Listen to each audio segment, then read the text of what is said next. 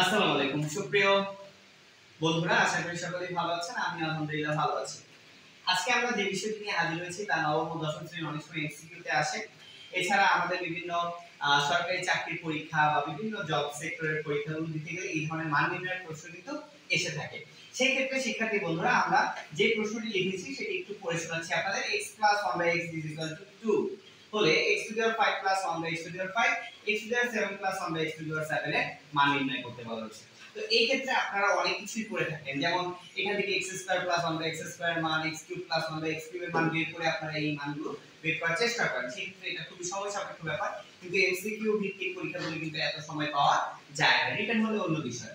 তো এটা আমরা কীভাবে শর্টকাটে করতে পারি সেটা আমরা দেখব। খুব ইজিলি আমরা কীভাবে ট্রিক্স এর মাধ্যমে করতে পারি সেই বিষয়টা আমরা দেখব।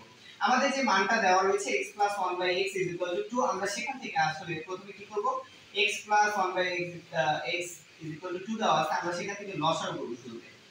x, যদি লসাগু করি, x আর x x স্কয়ার আর এখানে থেকে 1 আর এখানে থেকে 2 তাহলে আমাদের এখানে থাকতেছে কত? আর গুণ করলে x স্কয়ার 1 সমান সমান 2x বা আমরা যদি এখন যে কাজটি করব, সেটা হচ্ছে পক্ষান্তর।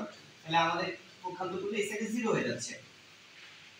এবার আমরা যে কাজটি করব, সেটা আমরা একটু চিন্তা করার চেষ্টা করব। এটা কিসের সূত্র আমরা দেখতে পাচ্ছি? এটা হচ্ছে a minus b whole square সূত্র, অর্থাৎ x মাইনাস 1 হোল স্কয়ার সূত্র। আমরা সূত্রটি বসাই দিয়েছি তারপর হচ্ছে আমাদের রয়েছে কি? আমরা x মাইনাস 1 হোল স্কয়ার সমান সমান 0 পেয়েছি, তাই আমরা এটাকে কি করব? বর্গমূল করব। বর্গমূল করলে আমরা পাচ্ছি x মাইনাস 1 ইকুয়াল টু 0 সুতরাং আমরা x এর যে মানটি বের করতে পারছি, তা হচ্ছে 1 কত? 1 এখন দেখেন, খুব ইজিলি কিন্তু আপনি এটা করে ফেলতে পারবেন। প্রদত্ত রাশি x to the power 5 plus 1 by x to the power 5 so আপনি করেন না এটার পরে 5 করেন প্লাস 1 by এই 1 এর পর 5 করেন, যা আছে তাই থাকবে। তো এখানে আসলে 1 কে 1 দিয়ে ভাগ করলে 1 ই হয়, তাহলে আমাদের অ্যানসার হবে 2 এখন আপনাদেরকে এখানে 7 দেওয়া থাকতো আর 700 দেওয়া থাকতো আর 7000 দেওয়া থাকতো যা মন চাই দেওয়া থাকতো আপনার কিন্তু অ্যানসার কত আসতেছে? যখন x এর মানটি পেয়ে যাবেন, তখন কিন্তু আপনি ইজিলি অ্যানসার বের করতে পারতেছেন।